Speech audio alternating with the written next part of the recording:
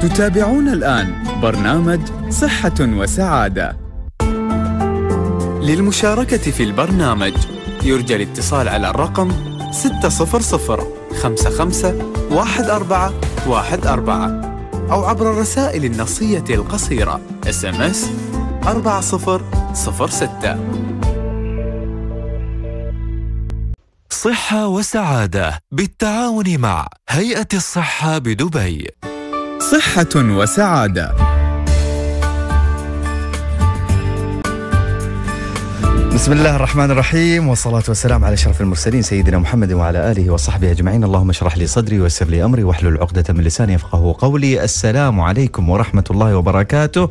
وأسعد الله أوقاتكم بكل خير وأهلا ومرحبا بكم أعزائي المستمعين في حلقة جديدة من برنامجكم صحة وسعادة. صحة وسعادة برنامج تقدمه لكم هيئة الصحة بدبي بالتعاون مع مؤسسة دبي للإعلام وعبر إذاعتكم المتميزة دائما إذاعة نور دبي.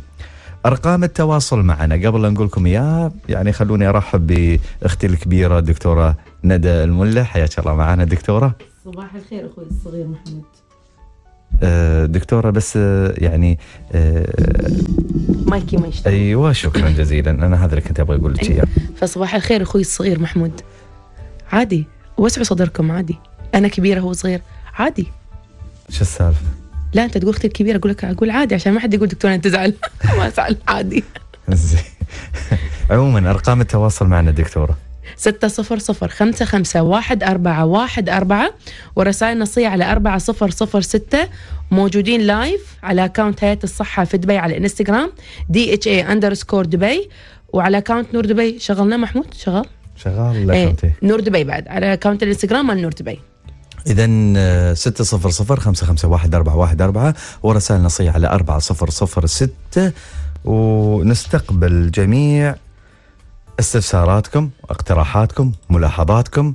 عن القطاع الصحي في إمارة دبي على وجه الخصوص ودولة الإمارات بشكل عام.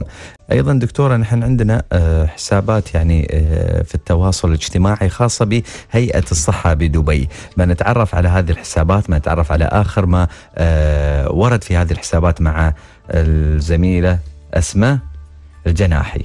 صباح الخير. صباحك وردي. يا أسماء حبيبتي شو أخبارك؟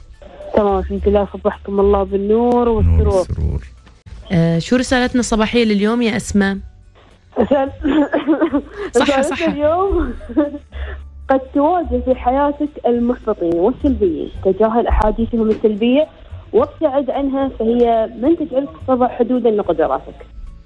رسالة جميلة والله تتماشى مع اللي بدينا فيه البرنامج الصبح. زين شو عندنا اليوم ترندنج في آه وسائل التواصل؟ أظن اليوم في العيادة الذكية. اليوم أنا راح أتكلم عن أمراض الكلى. لأن فعلا الفترة الأخيرة قمنا نشوف وايد ناس تعاني من الكلى حتى مرضى السكري آه، يصير لهم فشل كلوي. لو كانوا يحافظون على مستوى السكر كان ما تموا يعانون مع غسيل الكلى. في وايد أشياء نحن نسويها من ممارسات خاطئة.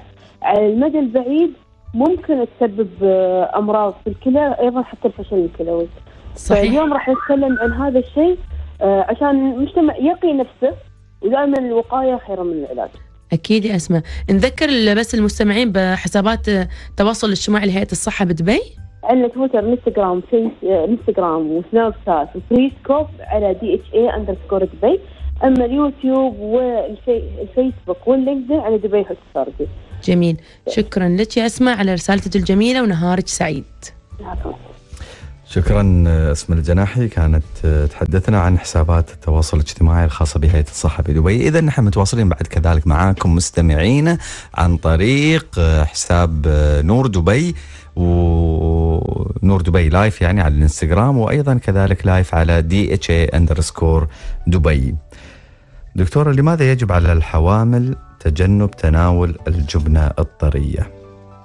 الحين بقول لك الدراسة. شو تقول؟ قول تقول تشير الأبحاث الجديدة إلى ضرورة تجنب الحوامل تناول أنواع الجبن الطرية حيث تزيد البكتيريا الموجودة فيها من خطر التعرض للإجهاض. ويقول الخبراء أن بكتيريا الليستيريا المتواجدة في بعض أنواع الجبن المسببة للتسمم الغذائي يمكن أن تهاجم المشيمة وبطانة الرحم مما قد يؤدي إلى الإجهاض.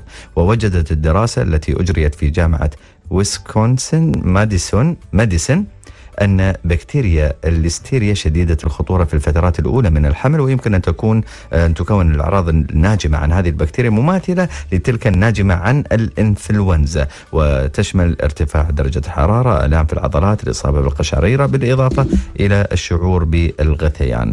ولكن قد تمر هذه الأعراض مرور الكرام حيث لا يمكن تمييزها مع مرور المرأة الحامل بأعراض مشابهة في فترة الحمل. يعني أنت كنت تعرفين هاي المعلومة دكتور؟ آه كنت جاي أقول لك احتمال عشان البكتيريا تنمو في الجبنة الطرية أسرع. مم. يعني الجبنه الصلبه البكتيريا صعب تنمو فيها. لا يعني تلاحظون لو تشترون جبنة البيضة والجبنه ال- اللي هو ال- الشيدر الصفراء وحطيتون في الثلاجة بتلاقون الجبنه البيضة تعفن أسهل لأن تنمو فيها البكتيريا أسهل. فهذه يمشي حتى مع الحوامل محمود. لا إحنا نقول لهم المفروض ياكل أكل مطبوخ ممنوع الأكل المش مطبوخ نفس السوشي ما سوشي والأشياء. لازم يكون الاكل دائما مطبوخ. فهاي والله يعني دراسة حلوة عشان الجبن لأن وايد ناس تحب الجبنة البيضاء. فمعناه ما- جبن أبيض؟ هي أحبه. ترى الجبن الأبيض لأنه صحي أكثر محمود. الجبن الأصفر فيه دهون مشبعة أكثر ويرفع الكوليسترول ولكن الجبن الأبيض لا خصوصا ال- الجبنه اللي يسمونها الفيتا اللي تكون قليلة الدسم. فالأفضل دائما يعني ننصح الحوامل على بناء على الدراسه ما يأخذونها من مطاعم. يعني روح تشتري الفيتا أو الجبنة الطازجة من من الجمعيات أو من السوبر ماركت واستهلكيها بسرعة عشان ما تلحق تنمو فيها البكتيريا وطبعا ما نخليها خارج الثلاجه لفترة طويلة عشان ما ترتفع حرارتها وتنمو فيها البكتيريا. إذا آه، صباح الخير للجميع لكل تواصلوا معنا. وياكم سلام. حياك الله. I am from India. هلو love you both. Thank, Thank you. you. very much. منورين أهل دبي. شكرا. زين هذا خلينا نشيله من هذا لأن في أحيانا بعد نتكلم عن بعض المتنمرين في حسابات التواصل الاجتماعي لأن صحيح. أنا ب... هذا يعني يمكن خارج آه، نطاق برنامجنا. لكن يا جماعة الخير أنا أبغى أعرف هذا اللي يدخل باسم مستعار. لا حاط صورته لا حاط كذا لا حاط أي معلومة عنه ويقعد آه، يدخل في حسابات الناس ويسب هذا وما أدري آه، آه، يعني يقول كلام غير لائق يعني. بالضبط. أنت شو اللي تحس فيه؟ والله ما أعرف محمد أروح أتساءل أقول شو الفائده شو الاستفاد أحس هاي مشاكل نفسية اضطرابات نفسية عندهم. بالضبط. فعشان كذي نحن شو نقول يا أخي؟ خل عندك شوية يعني إحساس أن الكلمة هذه اللي تكتبها أنت محاسب عليها. صحيح. آه عموما قدام رب العالمين أول شيء محمود إيه،. خلي الناس رب العالمين لما يشوفك تحاسب على الكلمة اللي تنقال. سواء كتبت أو أو كانت مقروءة أو مكتوبة. طيب آه يقولون حتى جبنة الماعز دكتورة. شوفي بكتيريا تنمو فيها بسرعة. جبنة الماعز لأنها وايد طرية. ف يا يا جماعة يعني لا لا, تح... لا تكترثون فقط بالتاريخ الإنتاج والانتهاء. أه، دائما شموا الجبنة ذوقوا اذا شفتوا في تغير بسيط في الطعم لازم تخلصوا منه حتى لو التاريخ ما كان منتهي لأن احتمال يكون مرت في سوء تخزين. إذا شوية الحرارة كانت مرتفعة الجبنة تخترب على طول. سامي مجاهد فعلا وقاحة. أحجبه ولا تزعل. نحن نقول الله يهديهم إن شاء الله. الله يهديهم. و يعني واحد ما بيقول أكثر عن شيء. زين واحد مطرش ما شاء الله ما اجملها الدكتورة. شكرا جزيلا. الله يحلي دنياك. وأحيانا ممكن تكون حسابات لتشويه دولة معينة وهو لا يتزن عموما هذا مش موضوعنا. نحن ما بس نحن حبينا يعني نتطرق لهذا الموضوع لأن آه، آه، بأمانة اليوم آه، نتحدث نحن عن مجتمع سعيد. هذا صحيح. المجتمع السعيد وين وين تك- تكمن السعادة؟ تكمن من قرار ذاتي عند الشخص نفسه إنه يقرر إنه هو يكون سعيد. صحيح. قبل لا يدور على المجتمع إنه يكون سعيد ولا كذا لا. أنت تكون يعني يكون عندك كل المؤهلات نفسيا مع نفسك إنك أنت تكون سعيد. هذا واحد. اثنين ما شاء الله هذا المجتمع يعني مو مخلي شيء قاصر علينا. صحيح. فعندنا أفضل تعليم أفضل صحة أفضل طبعا نحن نطمح إلى الأفضل دائما لكن اللهم لك الحمد نحن ما شيء قاصر علينا شو نبغي أكثر عن شيء؟ فيا أخي آه، ننظر للأمور بإيجابية لأن أعتقد إن النهضة اللي نحن آه، يعني آه، نسعى لها في دولة الإمارات. هي ليست خاصة بدولة الإمارات. نحن نطمح إلى نهضة عربية وهذا اللي آه، كان يتحدث فيه آه، سيد صاحب سمو الشيخ محمد بن راشد في آه، القمة الحكومية. كان يتحدث عن ال- الإيجابية والتفاؤل. التفاؤل بأن نحن قادرين أن نصل إلى يعني ن- نستحضر حضارتنا. صحيح محمود. فأعتقد أن هذه هذه هذه يجب أن تبدأ من الفرد. الفرد إنه هو يقرر إنه يدخل في هذه المنظومة. صحيح. عموما إحنا طولنا عليكم ما اطلع فاصل. بعد الفاصل ما نتكلم عن بعض المواضيع وما ننتقل إلى مركزي البدع والصفا اللي حصلوا على اعتماد من اليونيسيف كمراكز صديقة للطفل. إن شاء الله. للطفولة ولا للطفل؟ الطفوله إنزين ما نتعرف على هذه ال- ال- المراكز بعد هذا الفاصل فاصل وراجعين بإذن الله. صحة وسعادة.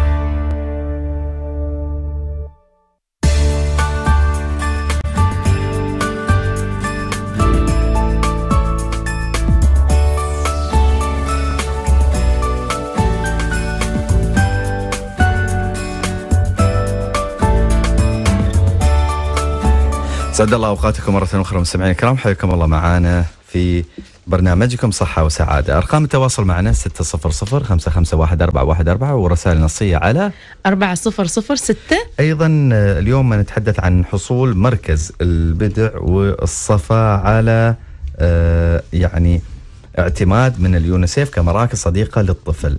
معنا في الاستوديو الدكتورة فوزية عبدولي رئيس مركز البدع وأيضا الدكتورة عهد شاهين رئي آه، رئيس مركز الصفا صح شي؟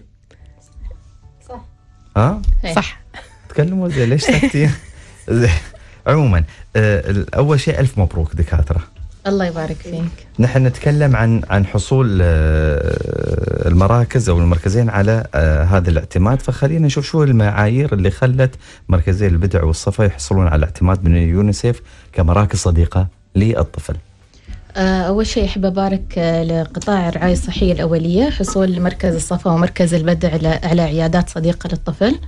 آه، نحن اتبعنا خطة السبع نقاط اللي هي معتمدة من منظمة الصحة العالمية واليونيسيف عشان نحصل كاعتراف عيادة صديقة للطفل.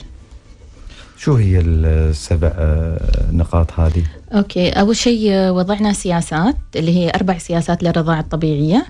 عممنا السياسات في المركز دربنا الموظفين عليها والنقطة الثالثة تدريب الأمهات الحوامل على أهمية الرضاعة الطبيعية. النقطة الرابعة دعم الأمهات لإرضاع الأطفال واستمرار الرضاعة الطبيعية فقط إلى عمر ست أشهر. النقطة الخامسة شجعنا الأمهات لاستمرارية الرضاعة الطبيعية حتى عمر سنتا سن- سنتين مع إضافة الوجبات المناسبة لعمر الطفل. ستة وفرنا بيئة تشجيعية للرضاعة الطبيعية. مثلا وفرنا غرف رضاعة طبيعية أه، لوحات تبين أهمية الرضاعة الطبيعية أه، علقنا السياسات اللي اعتمدناها في العيادة وفرنا أجهزة شفط الحليب للأمهات إذا احتاجوها. وفعلنا المشاركة المجتمعية. سوينا mother support group نادي الأمهات. إذا عندنا أي campaign أي حملات يعلمون باقي الأمهات عن كيفية الرضاعة الطبيعية. هاي هي آه، خطة النقاط السبع. جميل. آه دكتور عهد لو نتكلم عن شو أهمية هالإنجاز؟ لما مركز صحي يحصل على صديق آه اعتماد كصديق للط- الطفولة مثل ما نعرف إن رؤية الصحة نحو مجتمع لحظة شوية دكتورة. على أي مايك تبغين نتكلم عيسى هذا ولا الثاني؟ هذا هذا زين؟ تفضلي دكتورة. آه، رؤية أيوة. هيئة الصحة دبي هي نحو مجتمع أكثر صحة وسعادة فنحن آه، آه، من رؤيتنا أن يكون حتى الأمهات والأطفال أكثر صحة وسعادة ومن هاي الناحية نحن رحنا على هذا البرنامج اللي هو باعتماد من منظمة الأمم المتحدة واليونيسيف آه، وهو تحدي كبير إن نحن نخلي الأطفال يكونون آه، بالرضاعة الطبيعية مطلقة من عمر آه، من أول يوم إلى عمر ست شهور، يعني فقط يعتمدون على الرضاعة الطبيعية، وإذا إحنا سوينا هالإنجاز نحن بنخلي أبنائنا وأطفالنا أكثر صحة، كيف؟ بحيث إن نحن نعرف أهمية الرضاعة الطبيعية آه، للنمو، للعلاج، لل- للطفل وللأم. وله فوائد عديدة وبهذا بهذه الطريقة الطفل راح ينمو ب- بأكثر بيكون صحي وبنحصل مجتمع أكثر صحي. صحيح آه شو أبرز الخدمات اللي نقدمها تقدم مركز البدع ومركز الصفا لخدمات ال- الأم والطفل؟ أنا ببدأ بخدمة استحدثناها حاليا قبل ست شهور تقريبا اللي هي عيادة الرضاعة الطبيعية. هاي خدمة جديدة موجودة في مركز البدع الصحي. نحن يمكن ثالث مركز يتم افتتاح عيادة الرضاعة الطبيعية عقب المنخول وعيادة الخوانيج. أم، تيلس فيها استشارية رضاعة طبيعية موجودة كل ثلاثاء من الساعة سبعة ونص لهنتين ونص. ممتاز. الخدمات الثانية الموجودة اللي هي خدمة متابعة نمو الأطفال. خدمة فحص الأسنان للأطفال عندنا خدمة الكشف عن التوحد باستخدام الاستبيان M-CHAT مهم. عندنا خدمة فحوصات ما قبل الدخول للمدرسة للأطفال عندنا آه، فحص آه، فقر الدم آه، اللي هو فقر دم الحديد في عمر آه، سنة عندنا فحص أطفال حديثي الولادة اللي هو ال neonatal screening يتم فيه فحص 36 جين للكشف عن الأمراض الوراثية. جميل. آه، عندنا قد- خدمة التثقيف الصحي للوالدين حسب الحاجة وإن كيس أي حد احتاج تحويلات للمستشفى نعطيهم التحويلات اللازمة. جميل ممتاز. آه، دكتورة عهد حابة تضيفي شيء من الصفة؟ آه، نحن عندنا نفس الخدمات. بالنسبة لصحة الطفل وهي متوفرة في كافة آه، المراكز الرعاية الصحية الأولية. ممتاز. آه اللي هو عندنا نفسه بس نحن ما عندنا اللي هي عيادة الرضاعة الطبيعية وإن شاء الله حاطينها في الخطط المستقبلية. إن شاء يتم الله. التحويل المرضى الحين على عيادة البدع والمنخول وهي نفسها استشارات للأطفال يكونون وبالإضافة للخدمات ذكرتها الدكتورة فوزية. يقولون منورة الدكتورة فوزية. كاتبين لك ودكتورتنا أحبها. ليش ما في صوت؟ الحين في صوت ولا بعده؟ إن شاء الله يكون الصوت واضح. طيب آه نتكلم مرة ثانية عن الخدمات. بعيد شوي عن آه، الطفولة. أنا أبغى أعرف كل مركز صحي عندنا شوي متميز عن المركز الثاني بشغلة خاصة فيه. فأنا أبغى أعرف البدع بشو متميز؟ آه، نحن متميزين يمكن وجود عيادة الأمراض الجنسية والتناسلية. مهم. هاي عنا إياها مرة في الأسبوع اللي هو كل اثنين آه، الفترة الصباحية بس. آه، عندنا دكتورة متخصصة تيلس آه، ممكن تسوي استشارات ما قبل الزواج أي مشاكل متعلقة بالأمراض الجنسية وعلاجهم وإذا احتاجت تحولهم للمستشفيات. ممتاز جميل. والدكتورة عهد عن الصفة الخدمة المتميزة؟ الخدمة المتميزة عندنا عيادة كبار السن وهي تغطي كل المنطقة آه، في البرد بي كلها. آه، عندنا آه، بعد عيادة العظام موجودة في كذا عيادة بس في قطاع الرعاية الصحية الأولية فهاي من الخدمات الإضافية اللي عندنا. جميل ممتاز. ممتاز طيب. كانوا يقولون عيسى ما شيء الصوت ما يكون واضح عندهم بس شلينا الواير مال ال- المايك. يمكن الحين الصوت أوضح. طيب. ما بين ما بين الخدمات اللي أنتم تقدمونها وما بين حصولكم على مثل هذه ال- الشهادات وهذه الإنجازات اللي جالسة تتحقق في مراكز الرعاية الصحية الأولية، أبغى أعرف آه، دكتورة شو خططكم المستقبلية؟ يعني كل مركز كمركز شو شو اللي يطمح له بعد؟ شو اللي شو اللي تم تبغون تحصلونه؟ آه، نحن إن شاء الله بندخل نجوم الخدمة قريبا. إن شاء الله. آه، تماشيا مع رؤية صاحب السمو الشيخ محمد بن راشد. آه، وإن شاء الله نحققها. إن شاء إن شاء الله. إن شاء الله. سبع نجوم. إن شاء الله. شو اللي مسوينه في هذا المجال؟ الحين بادين آه، الحمد لله في هي طبعا آه، نظام تصنيف النجوم لها معايير معينة عشان نحن نوصل للعالمية في الخدمات آه، نقدمها.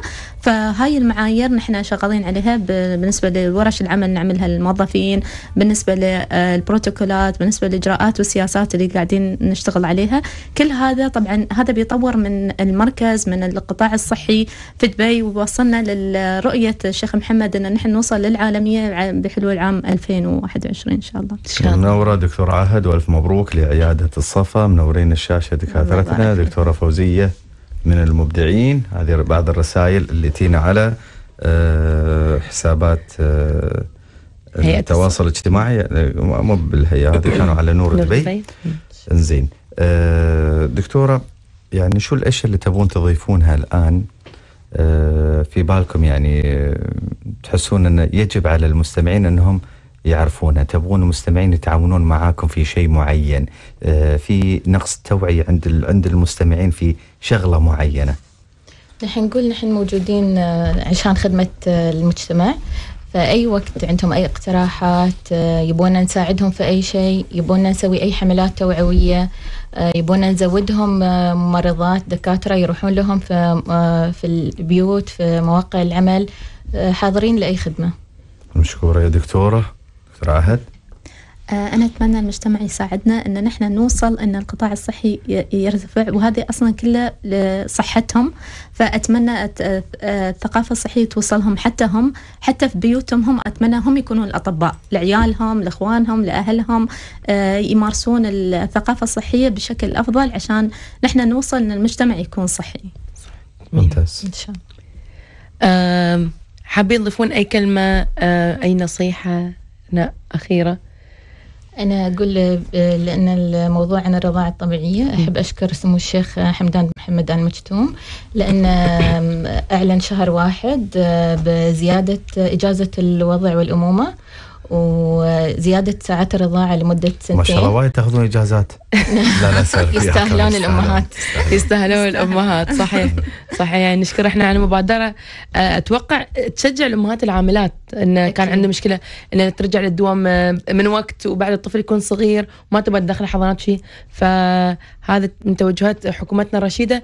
فشاكرين لكم دكتور فوزية ودكتور على تواجدكم معنا اليوم. كان لقاء جميل ومبروك لكم حصول عياداتكم على عيادات صديقة للطفولة.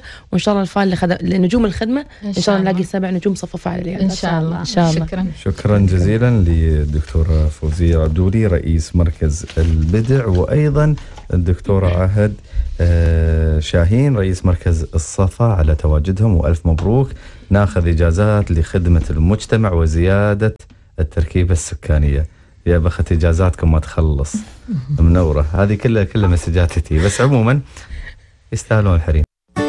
صحة وسعادة.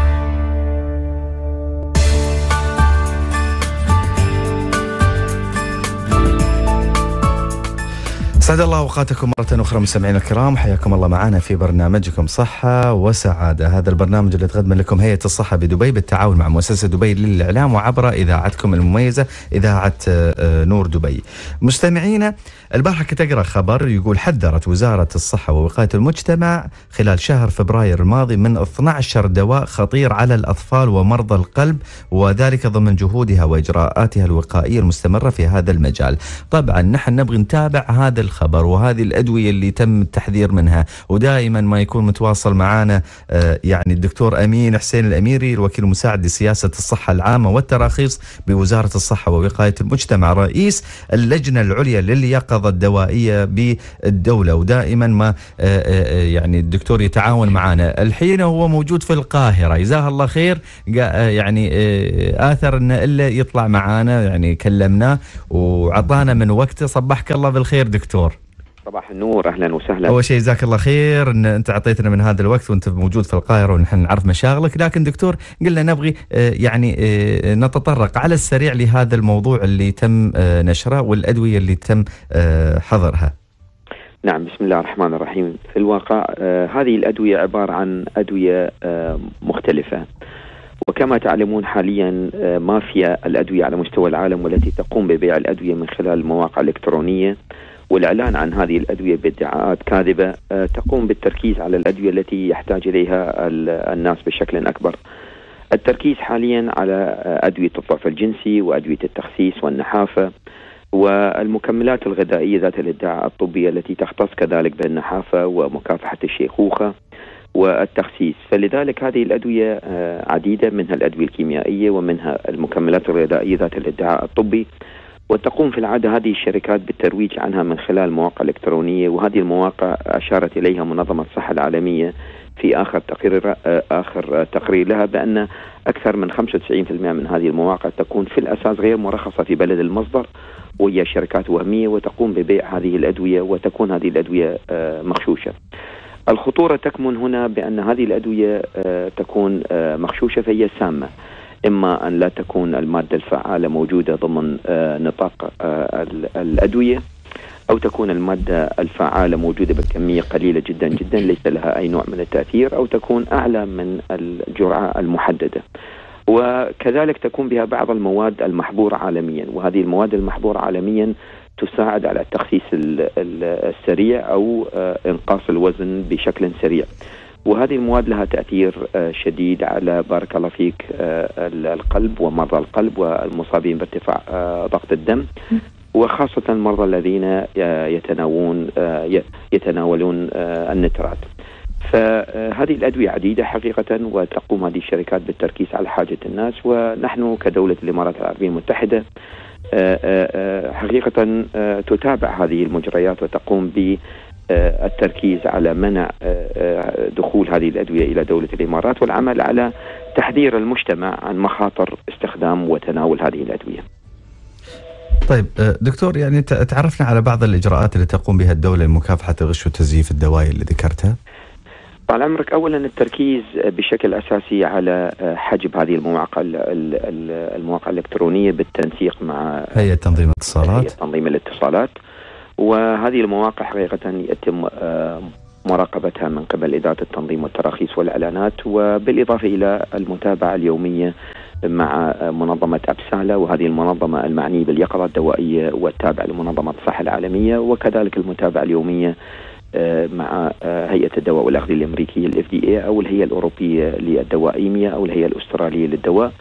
من خلال اللجنة الوطنية العليا لليقظه الدوائية. وهذه اللجنة حقيقة متشكلة من كل الجهات الصحية على مستوى الدولة منها وزارة الصحة وقايه المجتمع وهيئة الصحة في دبي وهيئة الصحة في أبو ظبي وجامعة الإمارات وجامعة الشارقة ومدينة دبي الطبية أو سلطة مدينة دبي الطبية وكذلك الجهات الصحية الأخرى آه، ذات الاختصاص. ونحن حريصين كل الحرص بأن نتابع كذلك وزارة الداخلية في آه، حقيقة بعض الممارسات الخاطئه التي قد تؤثر سلبا على صحة وسلامة مجتمع الإمارات والعمل على آه، آه، حقيقة التنسيق الدائم مع وسائل الإعلام ل آه، آه، نشر هذه التحذيرات وإبلاغ المجتمع من كل من من, من كل هذه المخاطر التي قد تؤثر سلبا على صحتهم بالإضافة إلى بارك الله فيك العمل على تنظيم المؤتمر السنوي للغش الدوائي والعمل على استضافة كبار العلماء والخبراء والجهات المعنية عن الغش الدوائي ومشاركة كافة الجهات ذات الاختصاص وبالتحديد الهيئة الاتحادية للجمارك والجمارك المحلية الدوائر الاقتصادية ووزارة الاقتصاد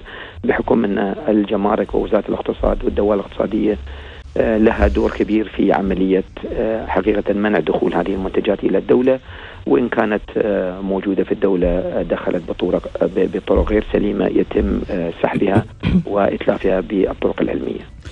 طيب ممتاز دكتور نحن نتمنى لكم التوفيق أنا سامحني ان أخذت من وقتك آه، وأنت خارج البلد لكن آه، دائما ما آه، تكون متواصل معنا دكتور. ونحب يعني ناخذ منك كلمة أخيرة نصيحة تبغي توجهها للمجتمع في هذا الخصوص. اولا طال عمرك هذا يعني واجبي ونحن الآن موجودين مع معالي وزير الصحة الله يحفظه في. اجتماع وزراء الصحة جامعة الدول العربية. وكلمتي إلى كل أفراد المجتمع آه، شعب دولة الإمارات ال- ال- الكريم والعزيز بأننا نحن كدولة الإمارات من خلال حكومتنا الرشيدة قامت حكومتنا الرشيدة بتوفير الخدمات الصحية في الدولة بأرقى المستويات. وكما تعلمون كما قمنا بالتصريح آه، قبل عدة أيام بأن 64% من جميع المستشفيات الحكومية والخاصة بإجمالي 83 مستشفى من أصل 135 مستشفى حصلوا على الاعتماد الدولي آه، للمنشآت الصحية أو للمستشفيات وهذا دليل آه، رقي آه، وحقيقة مستوى الخدمات الصحية المقدمة. فلماذا لا نلجأ إلى الجهات الصحية؟ لماذا لا نقوم باللجوء إلى ال- ال- المستشفيات والمراكز الصحية التخصصية ال- المرخصة والمعتمدة في دول الإمارات؟ لماذا لا نقوم بحقيقة استشارة الطبيب والعمل على شراء الأدوية من خلال الصيدليات التابعة لهذه المستشفيات أو الصيدليات الخاصة والتي حقيقة تقوم الجهات الصحية بمراقبتها والتفتيش عليها. وهذه الأدوية سجلت وأدخلت إلى الدولة بطرق علمية وبطرق آه، رسمية. فيجب عدم شراء هذه الأدوية من الخارج. وعدم عدم الاعتماد على هذه الادعاءات الكاذبة التي تقوم بها هذه الشركات المزيفة والتي تقوم حقيقة ال- إلحاق الضرر بصحة وسلامة المجتمع. نحن حريصين على الحفاظ على صحة وسلامة المجتمع والآن وزارة الصحة أصبحت من ضمن أكبر مهامها وقاية المجتمع وهذا هدفنا بالتنسيق مع الجهات الصحية كهيئة الصحة دبي وأبو ظبي. وهذا ال- الشراكة الاستراتيجية بين الجهات الاتحادية والمحلية في العمل على توفير الخدمات الصحية بأرقى المعايير العالمية والعمل على حفاظ الحفاظ على صحة آه، آه، صحة وسلامة مجتمع آه، دولة الإمارات. وهذا هو الهدف الأساسي. وأتمنى أن لا يتم اللجوء لشراء هذه الأدوية من الخارج أو المكملات الغذائية ذات الإدعاء الطبي. والعمل على عدم توزيعها إذا جلبت من الخارج وعدم جلبها من الخارج. وعدم تناول وتداول هذه الرسائل النصية التي قد تقوم بالترويج عن بعض الأدوية لأن حقيقة فيها مخاطر. جميل. آه، دكتور آه، أمين آه، الأميري الوكيل المساعد لسياسة الصحة العامة والتراخيص بوزارة الصحة ووقاية المجتمع رئيس اللجنة العليا لليقظة الدوائية بالدولة. شاكرين لك هذه المداخلة وكل التوفيق إن شاء الله. شكرا جزيلا دكتور. سبحانه وتعالى. الله يحفظك. مع السلامة. شكرا. إذا ننتقل من هذا الموضوع إلى موضوع آخر. شو الموضوع اللي عندنا دكتورة؟ بنتكلم عن خدمات آه، قسم كلى الأطفال في مستشفى دبي. نتحدث عن الخدمات كلها شو الإنجازات؟ أهم أمراض الكلى بيكون معنا في الاستوديو إن شاء الله الدكتور الدكتور لؤي عيد استشاري ورئيس قسم كلى الأطفال في مستشفى دبي. صباحك الله بالخير دكتور. صبحك الله بالخير والسرور. آه بداية دكتور لو نعرف المستمعين شو أبرز الخدمات اللي يقدمها قسم كلى الأطفال؟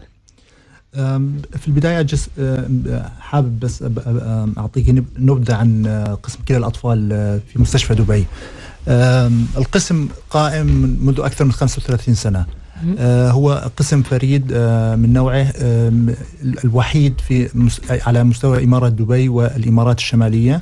أه، يقوم بتقديم الخدمات لجميع أطفال ال- ال- المصابين بأمراض الكلى. من من- منذ الولادة إلى عمر آه، 15 سنة.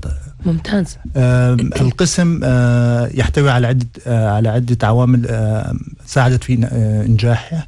آه، من ضمنها الكادر الطبي المدرب والحاصل على شهادات من آه، مس- مستشفيات آه، معتمدة ودراسات في في أمريكا آه، وكندا. آه، إضافة إلى الكادر التمريضي وال الأخصائيين الاجتماعيين وأخصائيين التغذية بحيث نحصل على منظومة متكاملة تحت سقف واحد. ممتاز آه، القسم يقوم بعدة خدمات ال- على مستوى العيادات الخارجية لدينا عد- عدة آم، عيادات متخصصة بأمراض الكلى الحادة والمزمنة. عيادات لأمراض ضغط الدم عند الأطفال آه،. نقوم باستقبال ال- المرضى المحولين من آه، ضمن من ال- العيادات الخارجية المستشفيات ال- الخاصة. آه، الخدمات التي نقدمها آه، ليست مقتصرة على مستشفيات هيئة الصحة. آه، بل تمتد إلى القطاع الخاص والرعاية الصحية والإمارات مستشفيات الإمارات الشمالية تحت وزارة الصحة. ممتاز. بالإضافة إلى العيادات الخارجية لدينا آه، قسم متخصص في إدخال المرضى والعلاج اليوم الواحد لإعطاء العلاج الكيماوي والأدوية مهم. وغيرها من نقل الدم لدينا وحدة متخصصة بغسيل الأطفال آه، الغسيل الدموي الغسيل البريتوني. آه، آه، آه، مجهزة بأحدث الأجهزة ومجهزة بأحدث ال- الكوادر آه، الطبية والممرضات المتدربات ممتاز هذا على المستوى ال- ال- الكلينيكالي أو السريري. آه، القسم كلا الأطفال آه، آه، بالإضافة إلى ذلك آه، آه، يق- يقوم بمشاركة آه، الأقسام أخرى في آه، مستشفى دبي آه، على مستوى آه، تعليمي. آه، نقوم بتعليم الطلاب من عدة آه، كليات آه، طب ممتاز. مستشفى من جامعة الشارقة من مستشفى من كلية آه، دبي الطبية مهم. وغيرها. نشارك على مستوى العالمي على عدة أبحاث طبية. كذلك نقوم باستضافة أطباء زائرين من أمريكا ومن ألمانيا. ممتاز. كم متوسط عدد الأطفال اللي يستقبلهم القسم ويعالجهم؟ ممكن أعطيك بعض الأرقام في الثلاث سنوات الأخيرة مهم. على مستوى دخول المرضى؟ مثلا كان في 2013 عندنا تقريبا 450 مريض دخلوا القسم في آه، س- آه، 2013 هذا الرقم تضاعف آه، إلى تقريبا 1000 مريض في آه، 2016 آه، على ممتاز. مستوى العيادات آه، أو زيارة العيادات الخارجية اللي في 2013 كان عندنا تقريبا 950 زيارة مهم. آه، في 2016 آه، 2000 زيارة آه، ممتاز. مستشفى عدة ال- عدة عيادات. الجلسات الغسيل الدموي كانت 114 جلسة آه، فقط في 2013 مهم. آه، ما ما أقدر أقول تضاعفت أو تريبلد وصلت لتقريبا ألف جلسة غسيل في هذه 100% 2000 أكثر من 100% زيادة في 2016 الر- نعم. بالعدد. بالإضافة إلى طبعا آه، دخول اليوم الواحد صحيح. والعيادات الخدمات الأخرى. جميل. آه شو أبرز الحالات اللي موجود آه، تتكرر عندكم في القسم؟ أبرز أمراض الكلى. الحين آه، بشكل عام آه، ممكن نقسم أمراض الكلى عند الأطفال إلى قسمين رئيسيين ال- الأمراض المزمنة أو الأمراض الحادة. الأمراض المزمنة عادة ال- الأسباب اللي- تكون مصاحبة إلى هذه الأمراض إما أسباب تشوهية أو خلقية يولد بها الطفل أو أسباب وراثية. بعض الأحيان ممكن تكون أيضا أمراض مزمنة نتيجة آه، عدم آه، تحصيل ال- ال- العلاج في الوقت المناسب بحيث إنه اختلف أو انتقل المرض الحاد إلى مرض مزمن. صحيح الأمراض ال- الحادة عدة أمراض آه، من ضمنها التهاب مجاري البول، آه، التهاب الكلى، الأمراض تكيس ال- ال- الكلى، آه، آه، ارتفاع في ضغط الدم آه، وغيرها من الأمراض. جميل. آه شو ممكن تقول دكتور عن أبرز الإنجازات اللي حققها قسم كلى الأطفال في مستشفى دبي؟ طبعا آه، كلا الأطفال في مستشفى دبي آه، يعمل تحت منظومة آه، متكاملة وهو جزء لا يتجزأ من مستشفى دبي. صحيح. آه، بالتعاون مع زملائنا في الأقسام الأخرى إما على مستشفى مستوى مس- قسم الأطفال أو الأقسام الأخرى في حتى ال- ال- القسم كلا ال- الكبار. آه، نعمل على آه، إسعاد الم- المواطن أولا والمقيم آه، صحيح. على حد سواء. نقوم بتقديم الخدمات على مدار آه، مثل ما تفضلت في البداية أنه حتى ال- القطاع الخاص نساعد نساعدهم توعوية و- وحملات آه، وإعطاء محاضرات لنشر لأنه ليس الكثير من الأطباء على مستوى القطاع الخاص لديهم ال- الوعي الكافي والخبرة بالتشخيص المبكر وحالة الحالة للمتخصصين. ف آه، لرؤية سمو الشيخ محمد آه، راشد الله يحفظه آه، ت- ت- 2021 آه، إنه تكون العلاج آه، سياحي آه، إحنا نعمل آه، تح- تحت هذا المنظوم. آه، من الإنجازات اللي حققناها آه، آه، بالإضافة إلى في مستشفى دبي آه، آه، حصلنا على الري اكريديشن أو الاعتراف الدولي آه، آه، في 2016 ال- كما آه، عقبت في البداية زاد عدد عن المرضى. صحيح. نقدر نقول أكثر من 100% في الثلاث سنوات السابقة. آه، حصلنا على آه، عدد من البحوث آه، مع جامعات ومراكز معترفة مثل بوسطن والمانيا كادرنا في مستشفى في ال- في القسم حصل على جوائز أو اووردد من في البرنامج الأخير الذي آه، آه، تحت رعاية بكم نفتخر. بكم نفتخر، نعم. التحصيل العلمي وال ممتاز. ال- الخبرات الطويلة.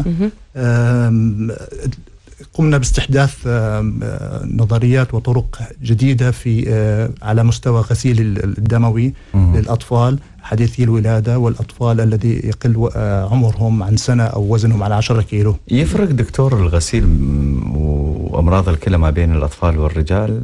والبالغين يعني؟ هو آه، هو ال- المرض واحد.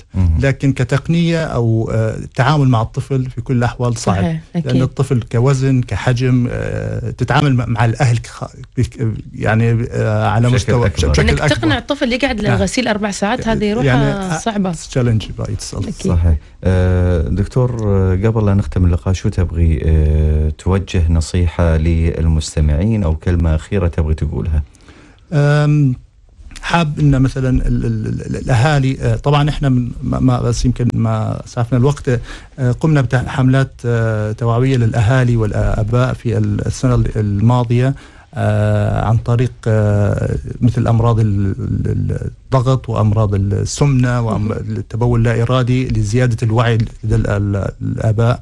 أنصح الآباء والأطباء ال- آه، في على مستوى الإمارات آه، خاصة اماره دبي والإمارات الشمالية إنه لا آه، يترددوا في طلب أي نصيحة أو أي مساعدة في أي وقت قسمنا آه، متوفر لديهم جميل. وفي في أي لحظة ممتاز شكرا آه، لك آه، دكتور لؤي عيد استشاري ورئيس قسم ال- هي الكلى ولا الكلى؟ الكلى الكلى لكلى الأطفال في مستشفى البين إحنا شاكرين لك آه، بارك الله هذا. التواجد دكتور اتمنى لكم التوفيق دائما. شكرا جزيلا. شكرا جزيلا. اذا آه، دكتور سامحيني بس آه، نظرة سريعة على على أهم آه، أو الرسائل اللي جتنا بشكل عام في صباح الخير. بغيت أسأل عن صحة منتجات الحليب ومشتقاته هل هي مضرة للصحة والكلام إن هذا الحليب بالحقيقة هي قيء من المواد المحقونة في الأبقار؟ صح هذا لا الكلام؟ لا لا لا لا لا لا لا لا. يا جماعة هاي إشاعات. تو. الدكتور امين يتكلم عن المسائل في ال social media؟ لا تأخذون لا لا إيه. لا. انزين آه ما شاء الله بوركتم. آه نورتنا دكتور لؤي هذا أحمد الشبراوي يقول لك نورتنا ابتسم وقلب. صبحك الله بالخير. منورين ما شاء الله. صبحكم الله بالخير صبحكم الله بالنور صباح النور سلامات. صباح النور. شوفي هاي يديك؟ ما فيها شيء ما فيها إلا العافية. صبحكم الله بالخير وربنا يشفي كل مرضانا. آمين. ما تشوف شر إن شاء الله. صباحكم الله بالخير وسرور وربنا يشفي آه، مرضى المسلمين أجمعين. اللهم آمين. آمين. عافاكم الله وعافانا وصبحكم الله بالخير. إذا هذه رسالة كلها جميلة مليئة بالإيجابية. جميل أن يكون الدكتور ملم بجميع نسب الحالات بشكل دقيق. شكرا لك دكتور. وبيض الله وجوهكم مشكورين. نحن وصلنا إلى ختام يعني حلقتنا لكن قبل ما نختم نبغى نذكر بس برابط التأمين الصحي دكتورة خير. والموعد اللي يجب على المستمعين إنهم ينتبهوا له. آه، رابط التأمين الصحي www.ishahd.ae اللي هو من إسعاد. ويا جماعة نهاية المهلة 31 مارس يعني باقي من الزمن 30 يوم. بنذكركم كل يوم بالعدد كم يوم تام.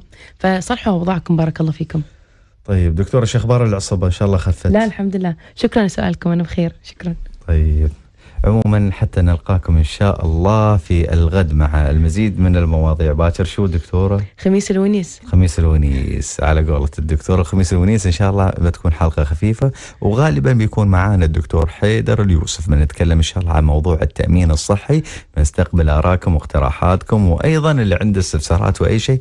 أنا نزار الله يخليك اتصل فيني. والله العظيم يا نزار أنا ما أخذت رقمك هاك اليوم ارتبشت شوية.